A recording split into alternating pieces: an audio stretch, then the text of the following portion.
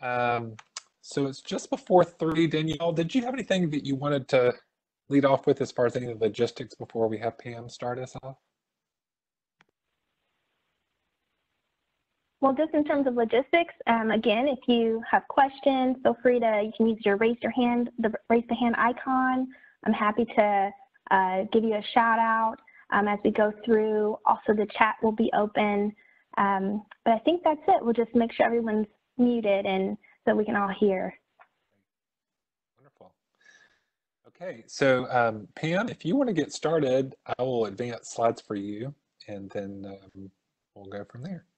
Thanks, Trip. Hello, everybody. We're so delighted you all could join us today. Um, this is the Trauma Informed Communities and COVID-19 presentation, and we're just so very excited um, to have both cohorts one and two joining us today. Um, we're obviously a little disappointed for the reason we need to have the gathering, but we're just so excited to um, see some of our old friends um, and reconnect, and then also have the opportunity to visit with those um, from our new cohorts. So everyone joining, you'll just know that it's um, New Hanover, Edgecombe, and Wilson, and Caldwell counties from last year. And then this year we have Pitt, Chatham, and Cabarrus counties um, working with the Trauma Informed Communities Project. And it's a, a pleasure to have you all. Of course, you'll remember our funding comes through SAMHSA as well as the uh, Department of Health and Human Services. So let's move on, Trip. Let's get started. This um, slide we put in here just to give you all um, some guidance. Some of you have been using Zoom. We weren't sure how familiar you'd be with WebEx. Um, and we're going to be asking you, I'm not sure if it was Danielle or Trip that shared, we were going to be doing a lot in our chat boxes today. And so if you'll look down at the bottom of the screen, the um, there, thank you, Trip. Um, that little box that he's pointing to, it looks like a cartoon speech bubble um, to me, and that's the chat function. So you'll you'll click on that, and then you'll have the ability, and then your chat, you'll notice it'll come up on the right-hand side of your screen where you can see um, who all's chatting and what they're saying. All right, next slide, please. Oh, good. There it is in big time. So using that chat function that you have found now, if you will please um, type in and let us know your name, your agency, and your county so we can um, all see who is present today. We're so glad that you all took the time out of your day. We realize that um, uh, it's a privilege um, to have this time with you, and we're just so excited. Oh, look at all those names coming in. Oh, this is good. Hey, Jane Morrow. She's the bird lady down in, in New Hanover. She's got the neatest bird pens. I remember that from last year. So this is just so much fun. Oh, wow. Cabarrus, you're here. Thank you for coming.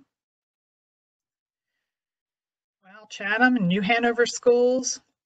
Amazing Grace, Gwen's working with us this year. I feel a little bit like, um, I'm going to age myself here, but I feel a little bit like that romper room lady who used to pull up that magic mirror and say, I see Pam and I see Johnny. and so I kind of feel like that as I see all these names coming across. We are just so excited that you all have taken time. Uh, it looks like we've got about 67 participants and we're just so very, very excited.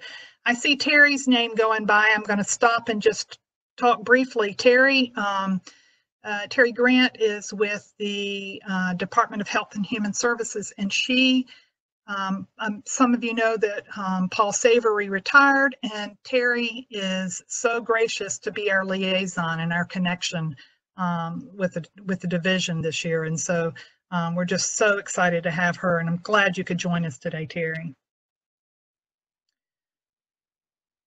I'm excited to be here, and I can see some of the system of care coordinators are joining us, which is great. And thanks good. for the invitation. Good, good, good. All right. Trip, you want to let's move us forward, and we can take advantage of the next slide. So um, we should look familiar to most of you all. Uh, we are your faculty through the Center for Child and Family Health. Um, we've been um, blessed with uh, being selected to help facilitate the trauma-informed trainings. And we don't take that privilege lightly. Let me tell you that this is something that we all um, believe in very strongly, and we're we're just we just feel privileged to partner with you all, and we're just so excited to be on this journey with you. Um, we we will Danielle, you met earlier. She's hosting our presentation. I saw Jeremy's picture go by, so I know he's hooked in. And then um, I am Pam Price down on the bottom left. And then the other three um, presenters who will be speaking today, of course, Trip, who started us off, Angela Tunno. I see Angela on my screen. And then Caitlin, I'm hoping you're up there too. I haven't seen your picture go by, Caitlin, but you'll be hearing from all of us um, throughout the day. And we're, again, we just appreciate you taking time out of your, um, your day to do this with us.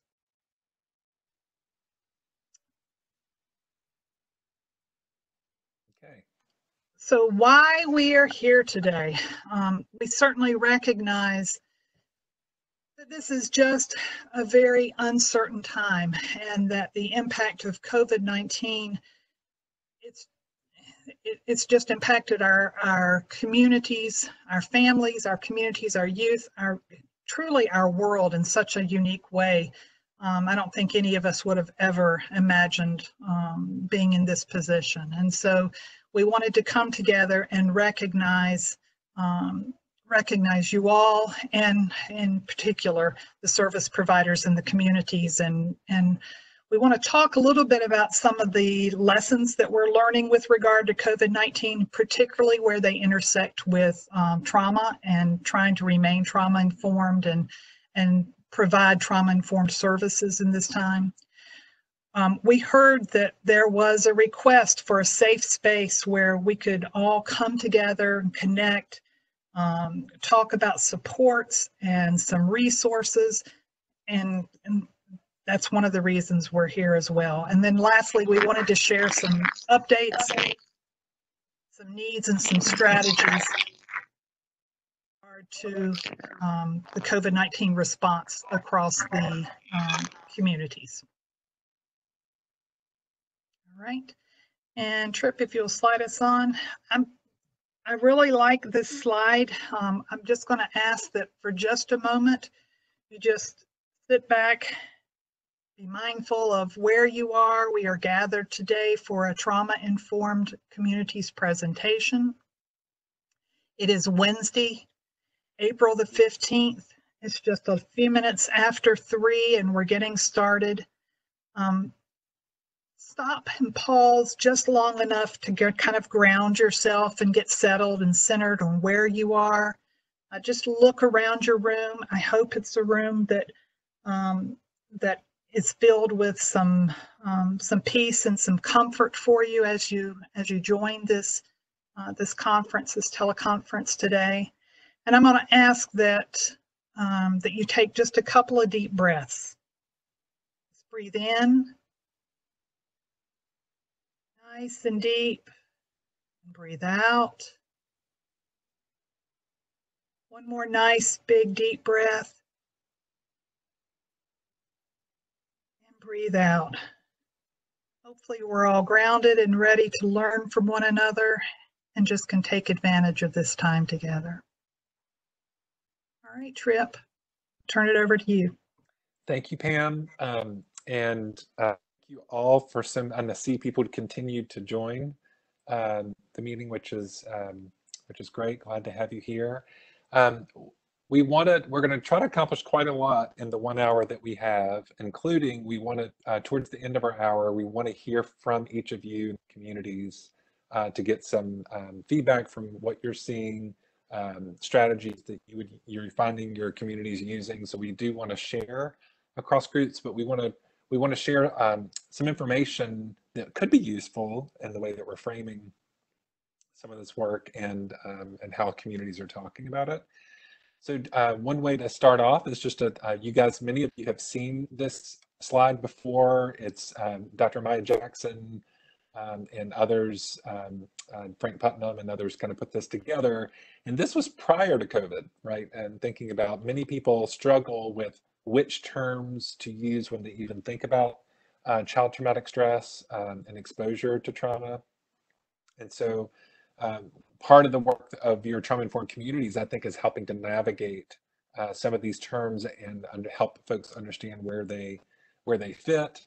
You've heard before our group talk about, um, and this material comes from the resource parent curriculum from the, the National Child Traumatic Stress Network, um, uh, that we talk about things like acute trauma as far as single events that are uh, for limited amounts of time. Uh, we talk about chronic trauma um, as far as um, multiple traumatic events that happen over a long period of time. Then we talk about neglect, and this is something that sometimes people struggle to know, is this a traumatic event or not? And um, when we talk about the failure to provide for a child's basic needs, um, it also opens the door to other traumatic events. So it does fit in that bucket of trauma exposure. Um, and thinking about um, a child's ability to recover from trauma is also something that's impacted through neglect. I'm just trying to go through some terms that you've heard about before because we're going to soon get to terms that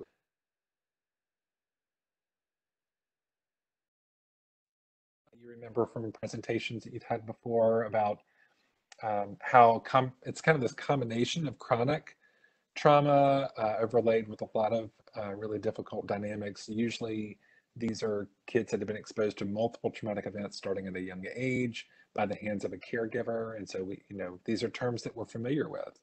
Um, COVID 19, though, is just such a different type of crisis. And I think what's important is we um, kind of think about all those other terms that we've talked about, where there's a clear onset and a clear offset of symptoms or exposure. Um, uh, with COVID, it's not like that, where um, there's a clear onset, but we're not quite sure uh, when COVID will really kind of um, uh, fall off or that we won't be in this kind of uh, time of crisis. And so um, so it's this chronic crisis with stressors that are kind of silent or um, invisible that are hard to kind of put our finger on, but um, that lead to can lead to secondary adversities, which lead to symptoms of traumatic stress.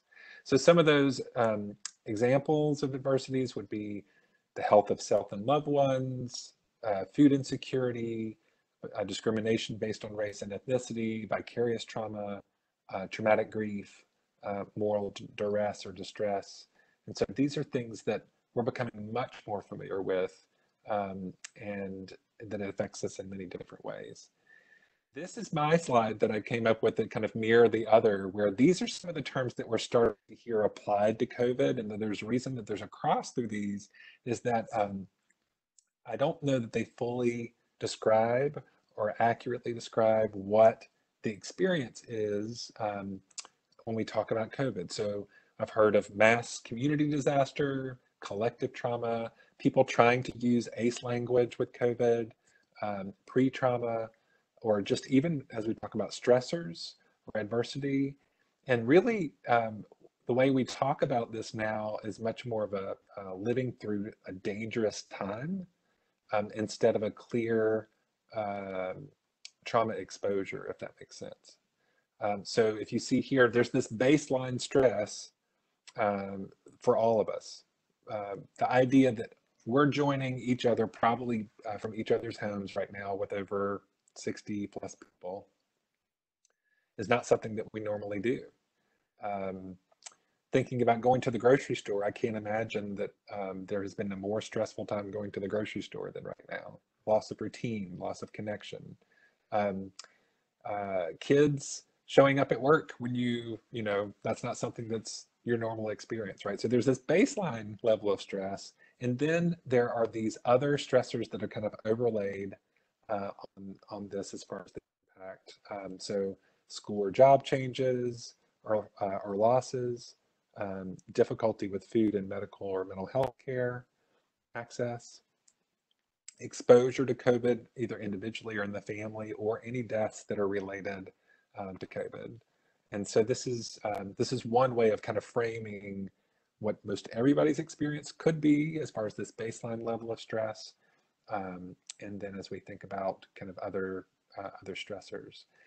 the other thing just to kind of keep in mind is at the core of what we're dealing with right now, we're negotiating these dangerous and uh, times and kind of dealing with safety issues. But as you kind of work your way up this uh, ladder, there's increased risk for impairment.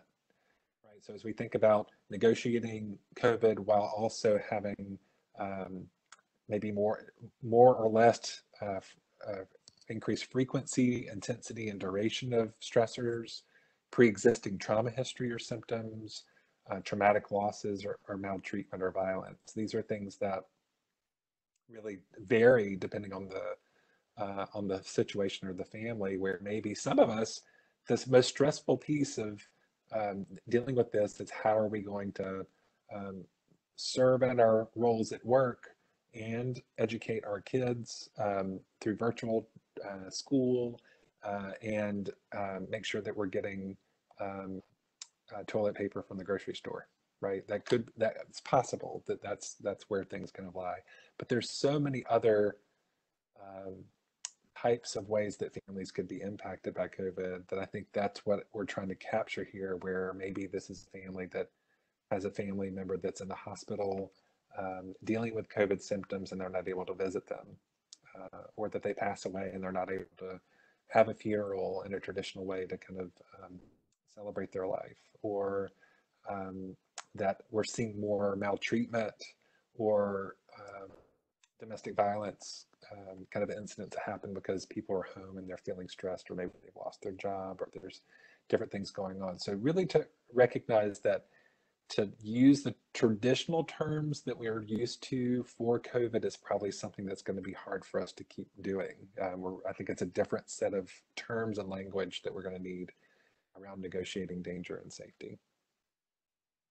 Um, this is uh, something you might have seen on Facebook somewhere. I'm seeing a lot of different versions of this coming out where um, this kind of idea of who do I want to be during COVID, where they're in this particular example, there's a fear zone, a learning zone, and a growth zone.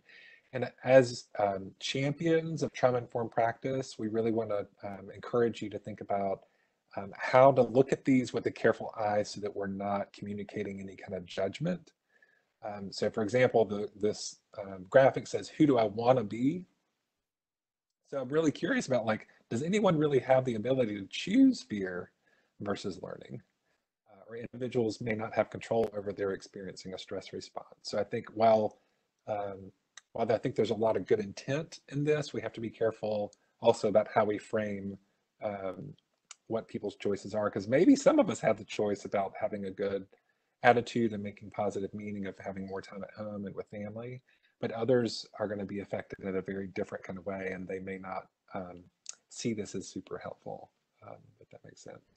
And so going back to those phrases of danger and safety, um, we need to approach this time with appropriate appreciation for how changes and losses related to COVID can impact mental health for so many. Um, also really focus on protection right now. How do we protect ourselves or mitigate that risk, um, uh, minimize risk if possible. Understand how some elements of COVID are, tra are traumatic for families depending on the circumstances. So again, like we said about a family member in the hospital in critical care that can't have visitors necessarily, uh, maltreatment in a home during lock, lockdown. We also need to be careful to avoid making large generalizations that large group of people will be diagnosed with PTSD. That's one question that I got this week from a national group saying we're really worried that um, the incidence of PTSD is going to skyrocket. And it doesn't mean that families won't experience trauma or that kids or families won't experience PTSD.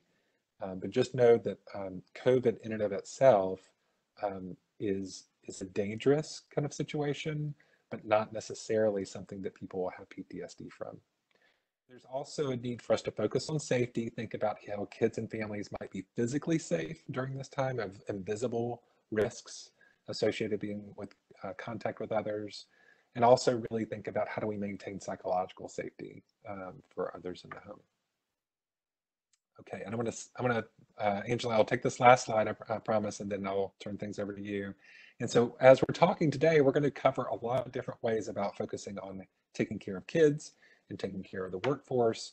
But one thing that we can do is stay informed to stay balanced, um, thinking about how you'll keep up with um, information on COVID um, and then connect, right? So, how are we trying to make sure that you're informed about what the current risks are without flooding uh, your TV or your computer screens with what's the latest because uh, that can be that can have an effect on us right? And this is the kind of information we would share with our families as well.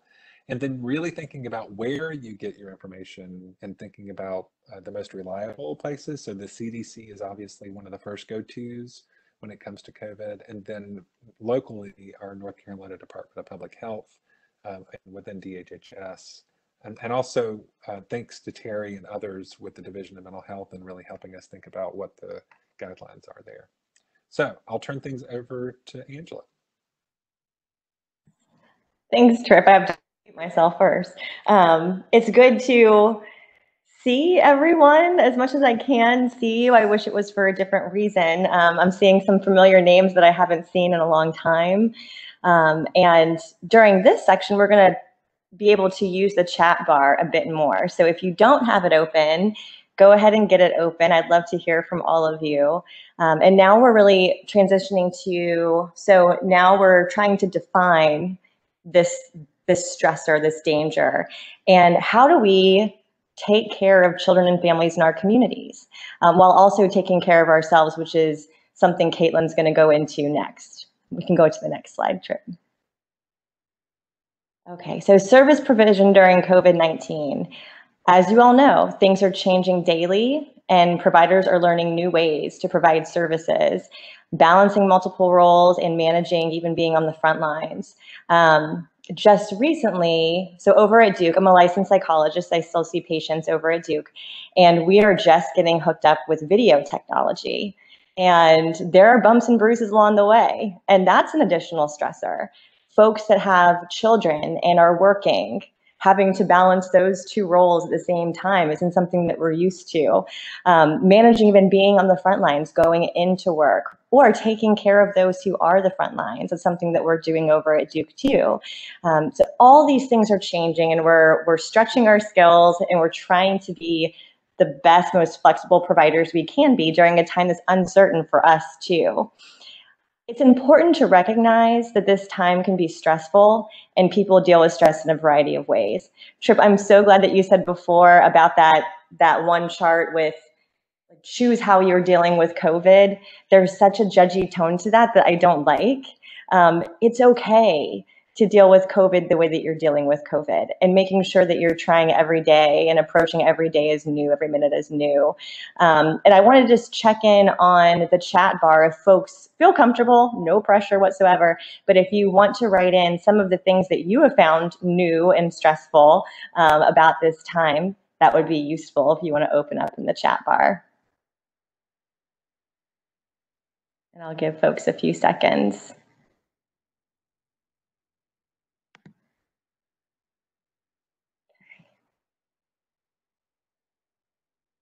All right. And I have heard from several providers the um, managing pets coming into the room or children coming into the room.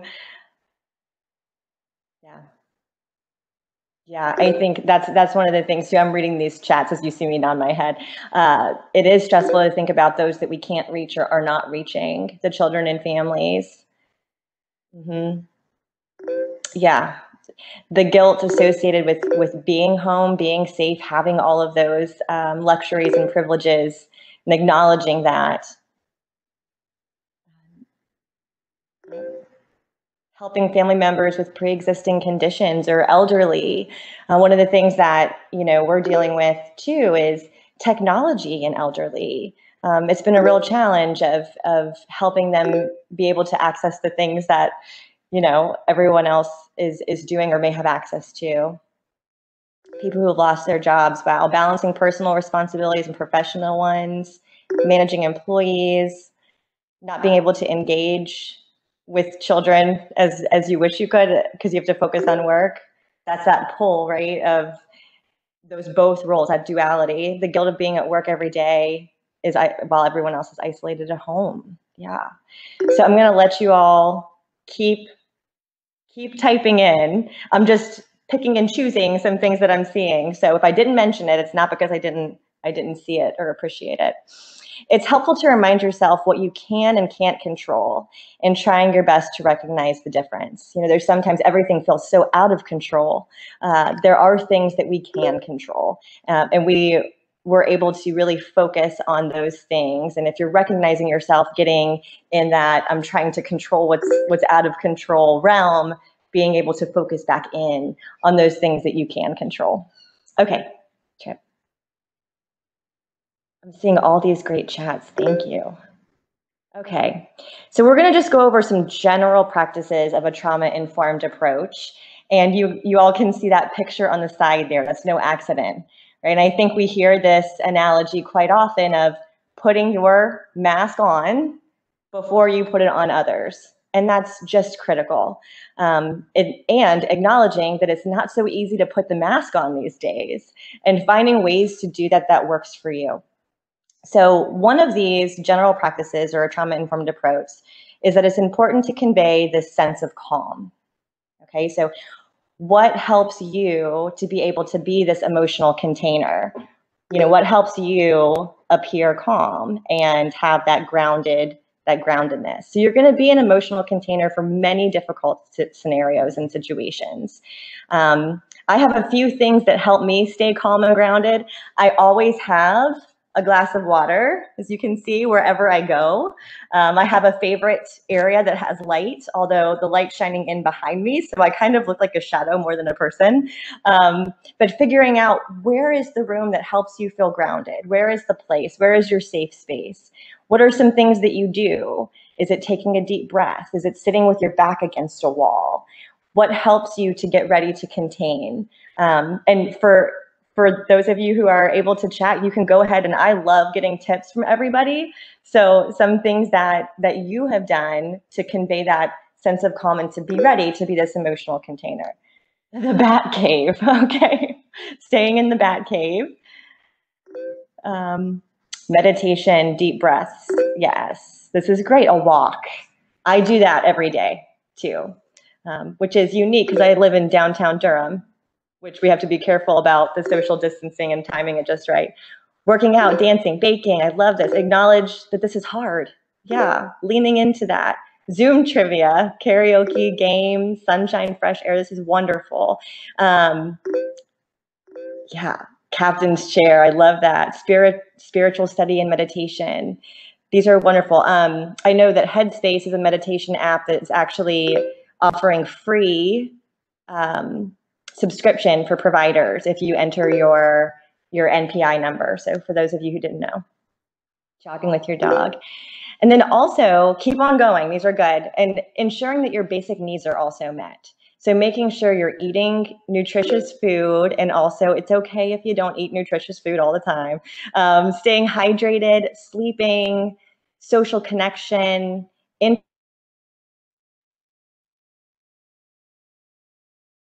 is going to be different. It's going to need to be flexible, and being able to um, support that flexibility is important for yourself and others. All right, next slide, Thanks.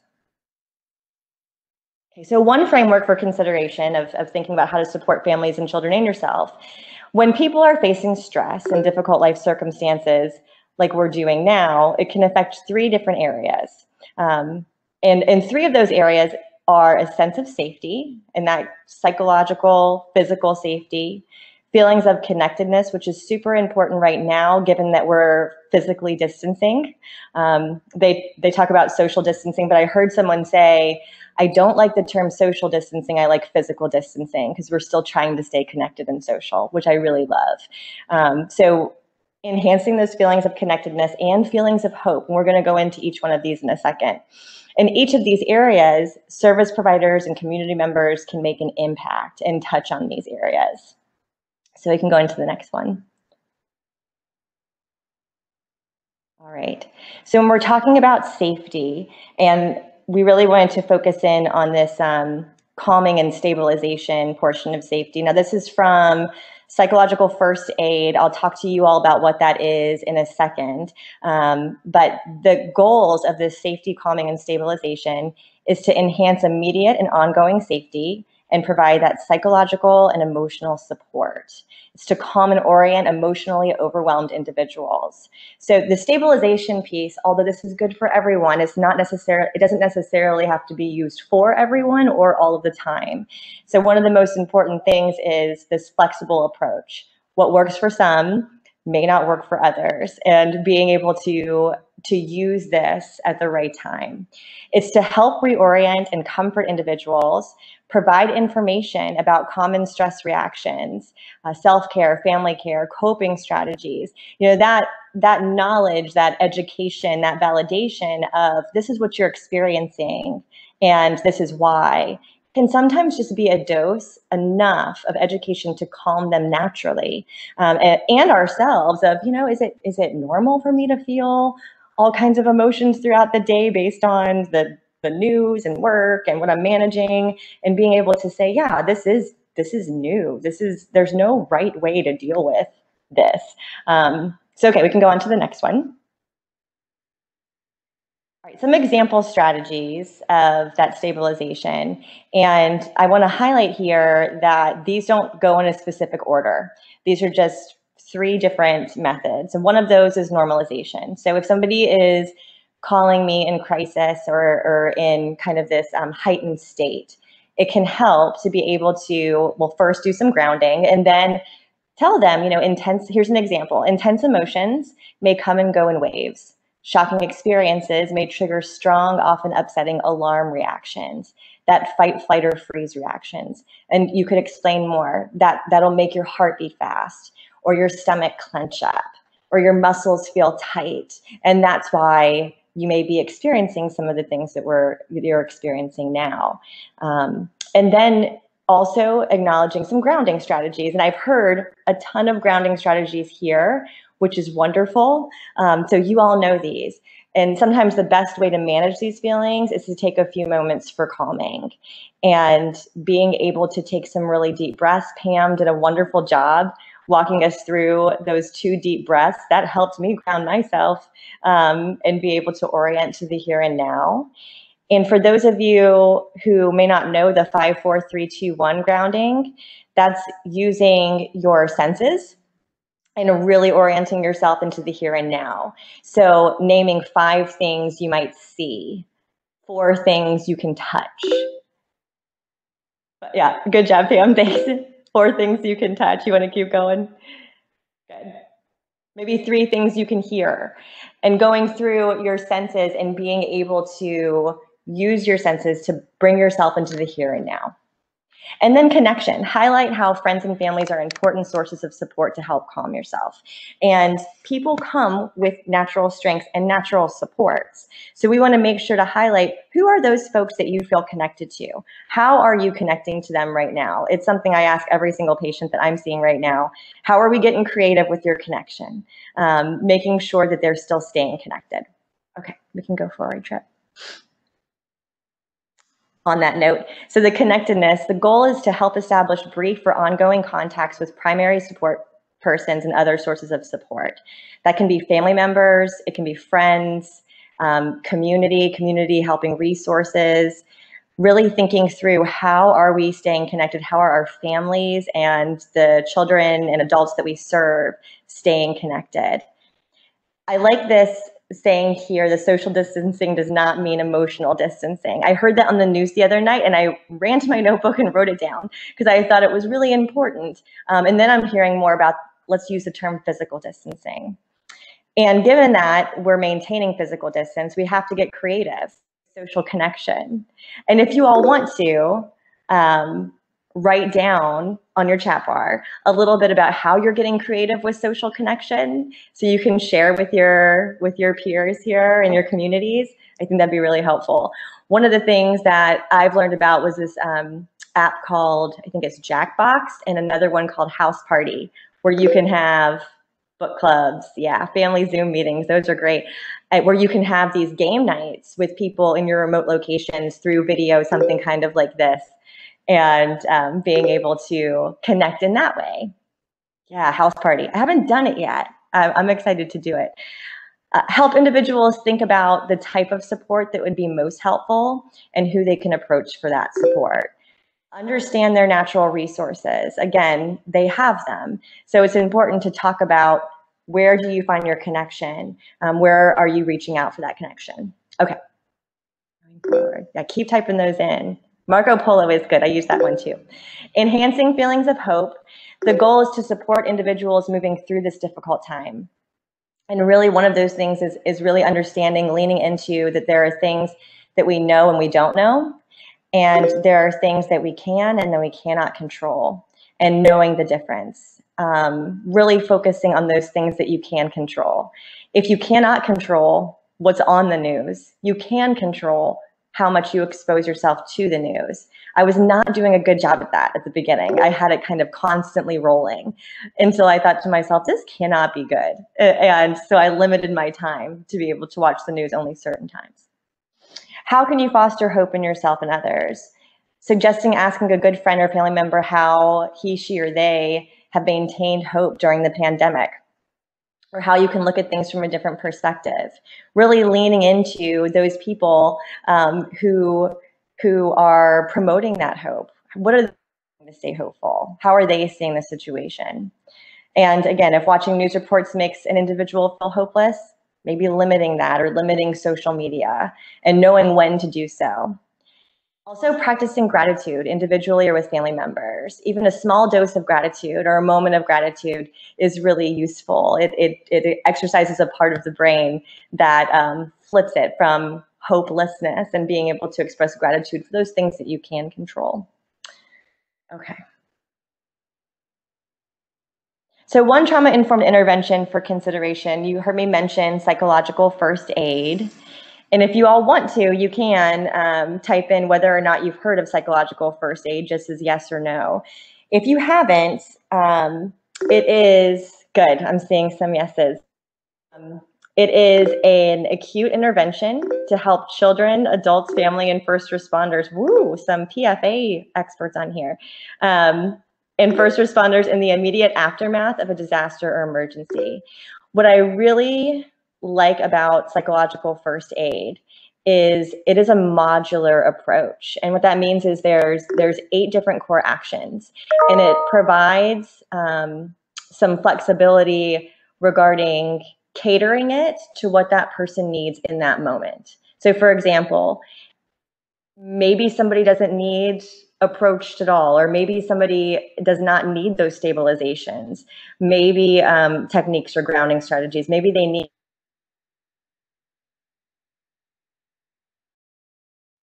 tools that you can use based on what you're seeing in front of you. And I love that flexibility because again, um, there is a wide range of how people can respond to things like this and it's designed to reduce the initial distress caused by traumatic events and to foster short and long-term adaptive function and coping. And coping. It meets four basic on risk and resilience following trauma.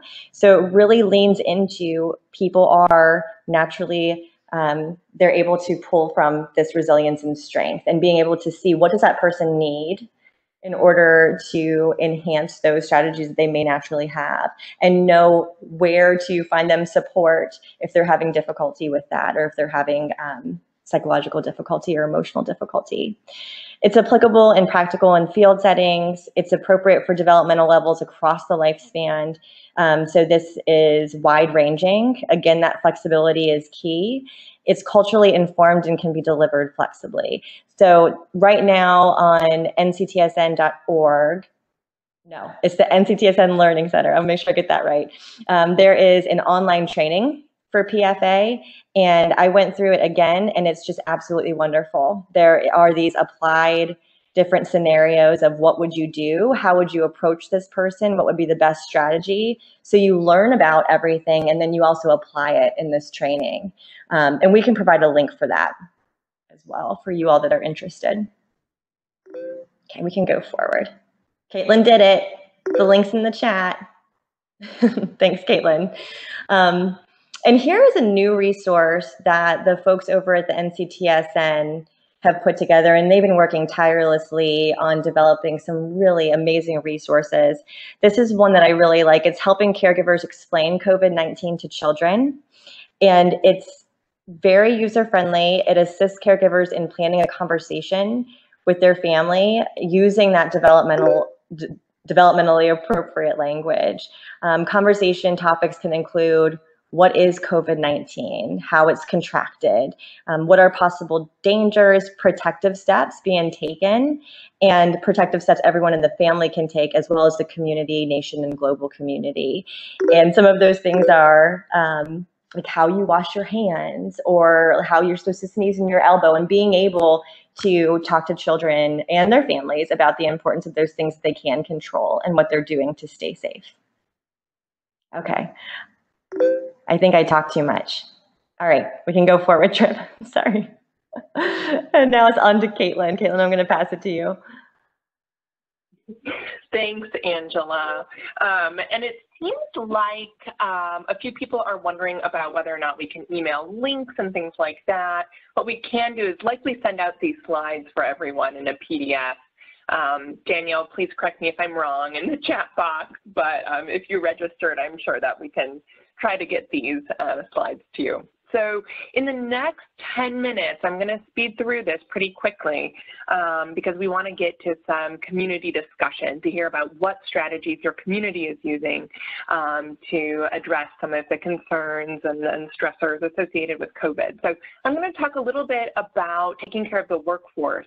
And we can think of the workforce in a couple of different ways. So it's not just taking care of yourself, right? You are a part of the workforce, but as well, like in addition to its um, professionals on the front lines, right? Right, across service systems. It could be the medical system um, or, you know, the education system, juvenile justice. We're all in sort of different roles, but this applies to all of us. So go ahead, Trip. So if you've been to the Trauma 101, um, presentations, you've likely seen this, this like multiplex Venn diagram. And it's really looking at different ways that trauma um, can impact the workforce. So through secondary traumatic stress, direct exposure, vicarious traumatization. I'm just gonna pull out a couple today and um, discuss them in depth. You can go forward, Trip.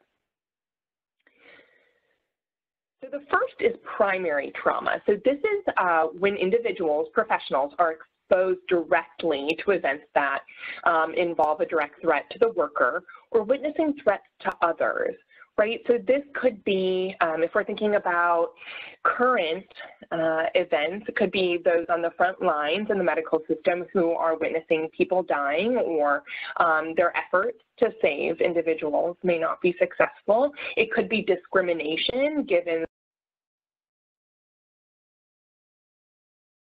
of that um, in the United States right now. So just recognizing that um, people on the front lines can be exposed to primary trauma.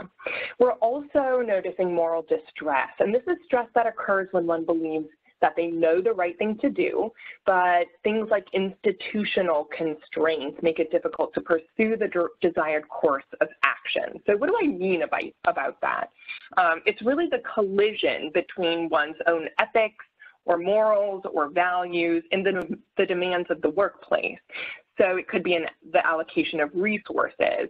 There might be a correct or right um, of course, like in quotes, course of action, but a professional is unable to take those actions.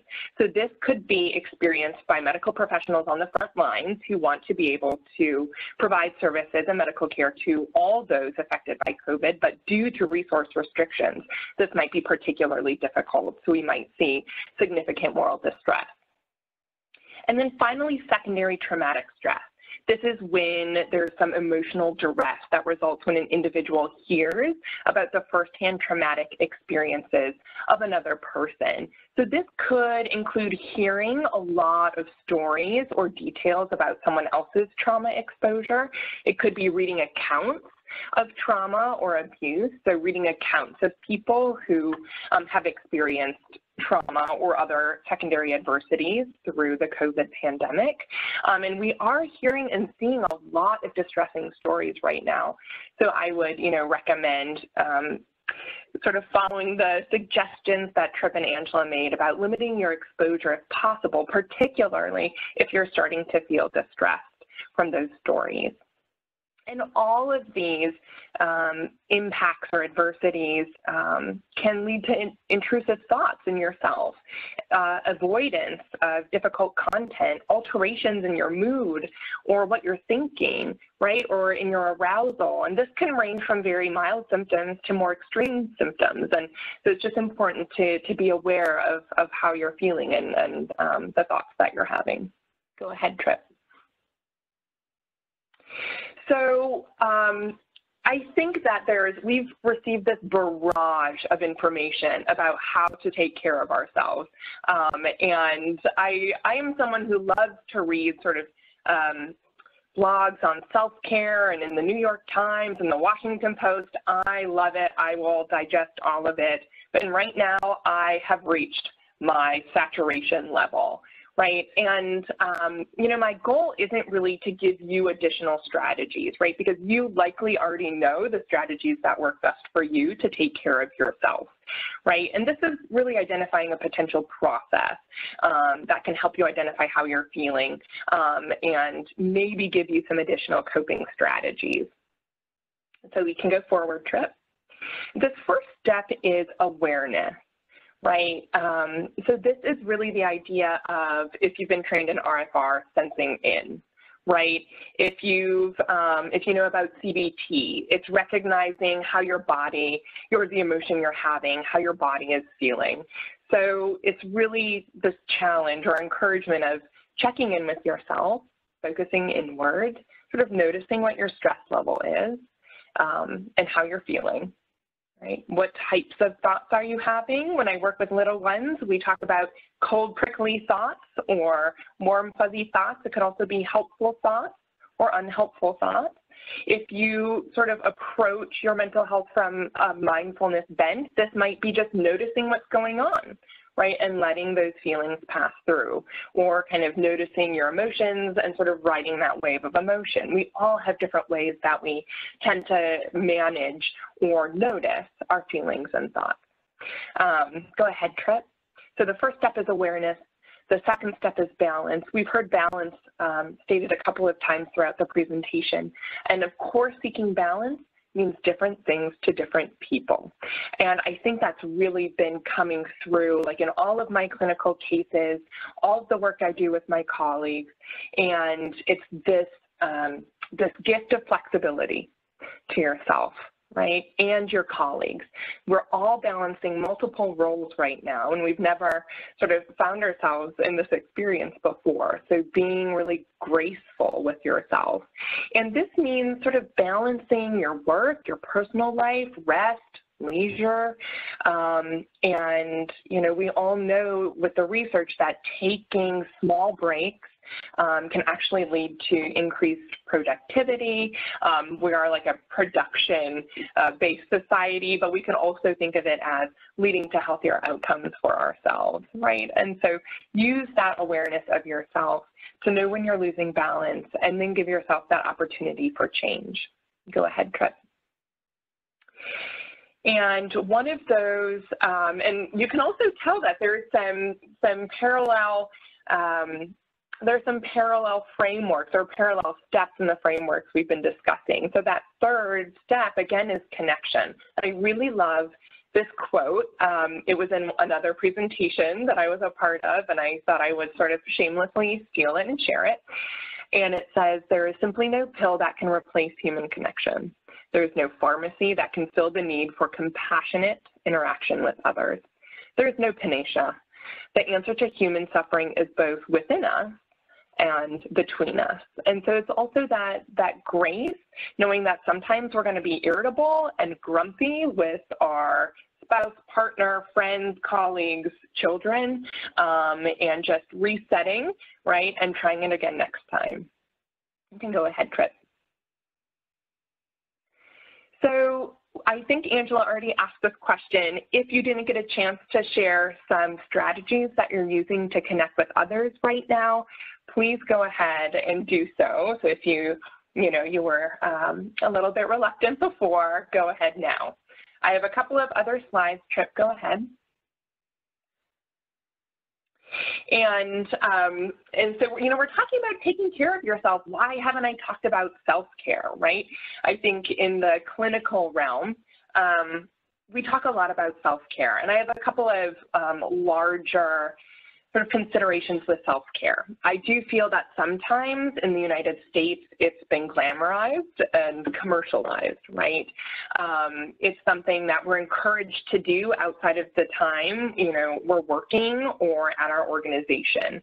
And I'm really going to sort of implore that um, as agency directors or leaders, service system leaders, sort of recognizing that self-care doesn't take place in a vacuum, right? Instead, it's something that begins at the organization and an organization can allow for time for self-care. It's not something that can only be done independently. So I love this quote. Um, I, I feel like I include lots of quotes, so I apologize if it's not your thing, but um, hear me out on this one. This is from Brianna Wiest. She is an author. And she says, true self-care is not about salt baths and chocolate cake. It is making the choice to build a life you don't regularly need to escape from. And that often takes doing the things you least want to do. It often means looking your failures and disappointments square in the eye and re-strategizing. It is not satiating your immediate desires. It's okay if it is, right? If you need some chocolate or salt baths, like that's totally fine. It is making um, it is letting go. It is choosing new. It is disappointing some people. It is making sacrifices for others. It is living in a way that other people won't. So maybe you can live in a way that other people can't, right? So it's really addressing the boundaries that you've set with others and knowing that self-care sometimes is really hard and it's something that we have to plan into our day um, and and it might take some time for it to change right um, just like with any behavior that we try to change go ahead trip so on this slide, it's just a list of self-care strategies. We've talked about them. I'm sure you have a cadre of your own strategies. Um, but again, I wanted to highlight the third bullet, um, and that is leaning into your team and finding a work buddy right? So self-care should not be a solely independent task. This is another sort of piece of that of connection. I think that's a recurring theme we're hearing. Um, I hope Angela won't mind me sharing, but this is something that we heard on an earlier call, and it's really being able to reach out on like a daily basis to make sure that other person is doing okay, right? Um, and sharing strategies that are working, or maybe a day was just really difficult, um, and having someone that you can contact readily um, so that you're not in this alone and you've got some support. And I saw some great strategies about having, um, you know, virtual coffee hours once a week with, with your, your staff.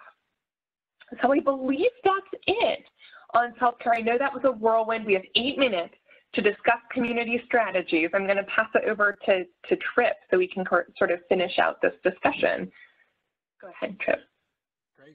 Thank you. Um, thank you, Angela. Thank you, Pam, Angela, and Caitlin for um, such a great uh, presentation. And we really wanted to hear, since you guys are our champions in, um, in the state for trauma-informed care, really wanted to hear from you about one area in which your community is needing support. Now, I'll put that out there saying, we want to know so that we can provide um, whatever information, psychoeducation, connection that we can. And it's possible there'll be areas of support that you have that we will not be able to directly address. Um, so need to have a self self care accountability uh, accountability partner. Um, uh, so maybe you know we have folks even on the call that are are looking for that and and can um, can think about connecting to others. Are there other areas of need that you feel like you're identifying in your communities um, you know, knowing that you're really good at using that trauma lens. Um, you're really good at thinking about these unique times and thinking about some of the needs that are kind of coming up. I know that um, uh, Terry and others with the division would probably like to know if there are areas that they could provide additional support or technical assistance to. Um, so people are very shy or they're writing very long messages that haven't shown up yet. Um, I can't tell which. Main issues is because things are always changing and so uncertain. We don't know what we need yet. Yeah, that's true. I think um, in the communications, even at Duke, uh, they had to start stop um, sending them daily because it was a little overwhelming for people, and they even kind of agreed to do it twice a week on Tuesday and Thursday. There's a team at Duke that actually sends out updates related to COVID. Um, and I think we all have shifted so much in the last four weeks. Each week has looked very different with the kinds of things that we've um, been focused on and moving from how to do so much telehealth kind of work um, to um, connecting with our jobs. Current unemployment is creating massive group of people experiencing trauma, concerned how you can respond. Yes. Um, I think that, yeah, so food is definitely something that's come up. Uh, nonprofit folks needing access to stores um, and to find out the Walmart was closed after somebody's getting out of jail and needed clothes. Um, yeah, day treatment facilities are closed, so kids that have been getting that support are not anymore. Rural areas having issues with telehealth and phone minutes. Yep, um, that's definitely something that we've heard of as well. Emotional support needs, just think materials for young kids to um, play with when at home. Um, alternatives to inpatient care for traumatized youth um, that are dysregulated at home. I just talked with a, a national foundation yesterday that focuses on autism and all those services that those kids were getting are now not happening and they're at home with their parents and there's a lot of concern right? Um, let's see spending so much time on computers can lend itself to other health concerns right? How many of you have been thinking about how uncomfortable your chairs are that you have at home for um, day-long use right um, locally in the triangle collecting food um, materials for teens, special needs kids with high support needs are definitely um, not able to do their schoolwork independently. Right. I'm thinking about my 15 year old and 8 year old are not in the worst kind of place of being able to get their work done, and it still feels like it's a lot much less for kids that have special needs, right? Difficulty finding therapists to take on new clients, especially through telehealth. I could see how that might be um, an issue. Yeah, so lots and lots of needs that you guys are uh, providing. In our last four or five minutes, I want you to find one trauma-informed strategy or practice that your community is using. What are you learning? So what's working? What are you trying? What are you thinking about? Um, this would be good for um, all the other communities to hear. Um, so day treatment in lieu of services has recently been approved for Alliance. Great. So clients who are receiving it may be able to receive it uh, through telehealth soon. Awesome. So uh, checking in with your um, MCOs and, um, and uh, your systems of care coordinators and other folks that might have information about um, changes in definitions of either definitions of services or access to them would be great. Um, so that's, that's awesome.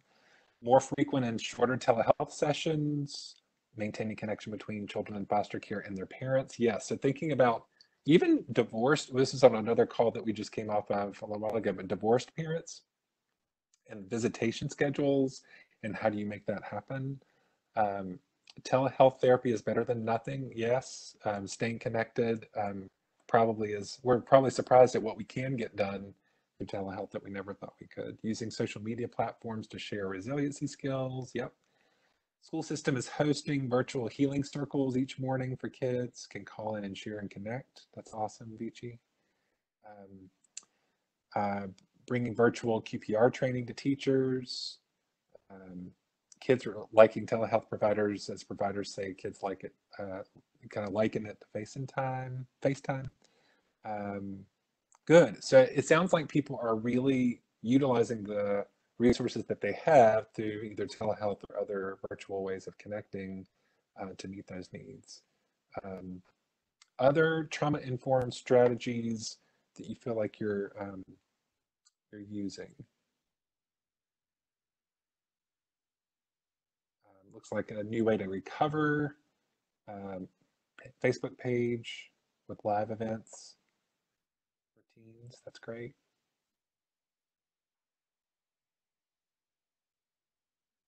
Oh, Mebin did a nice job here talking about being flexible about meetings. I, I wanted to say something about that. And that CCFH has taken on this thing that I've used in so many of my meetings to say, and not this one, by the way, um, but, but all the others, we have said um, 50 minutes is good for a meeting um, so that people can transition from one thing to the other, especially if they've had back-to-back meetings at home. There's something so different about being on camera and being present this way as opposed to being around a table or um, in our cars or you know different places that we're used to. Um, so that's definitely something to consider. Um, let's see, daily check-ins and, and texting with staff. Uh, the Resiliency Collaborative is playing uh, with Flipgrid to share practice and resilience tools. Great. Um, the other thing is just to give permission to people on video calls that um, it's okay for things to happen like pets or um, children that like to visit or uh, needing to put your camera off your camera. Um, reflective supervision is definitely good um, and sometimes replacing video calls with phone calls. I, I just had a conversation with Caitlin this morning about sometimes phone calls without the video are actually kind of refreshing. Uh, there's something different about um, really attending um, that way. Yeah, good. So we we want for this to be the start of a conversation. Um, I'll just flip through a few resources for you as we're wrapping up, and you can think of any last questions that you have. So there are a ton of resources. In fact, we, we're hesitant to send you every resource that we've come across because it's just so many. Um, but the network and the National Child Traumatic Stress Network has um, come up with resources for simple activities at home, supporting kids during COVID, um, how to help um, families cope uh, which is really awesome. And then how to take care of yourself and um, secondary traumatic stress, um, as well as for the center. Um,